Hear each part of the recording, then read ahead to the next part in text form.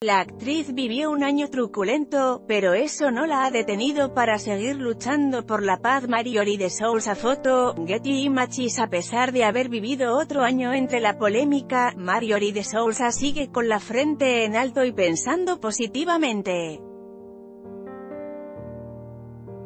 La actriz de Al otro lado del muro siguió la mayor parte del 2018 enfrentando a su ex, Julián Gil, en la corte para llegar a un acuerdo sobre la manutención de su hijo Matías.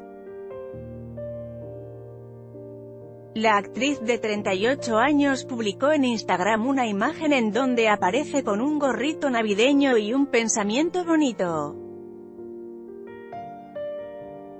Todo el mundo dice mucho. Yo solo pediré que sientas todo lo bonito, que te permitas renacer, que ames lo que eres, escribió la famosa.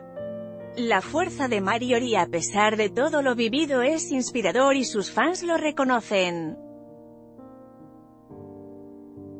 Gracias por tu palabra preciosa y que Dios te bendiga a ti y tu bebé y toda tu familia sigue adelante y triunfando, le escribió un seguidor. Preciosa Santa. Bendiciones para ti, Matías y su familia, otro fan le deseo.